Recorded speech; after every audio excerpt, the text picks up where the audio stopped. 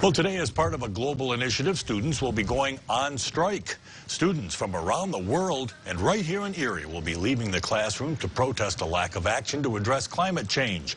Students will gather at Perry Square from 10 a.m. until 8 p.m. with a variety of guest speakers urging lawmakers to take action before it's too late.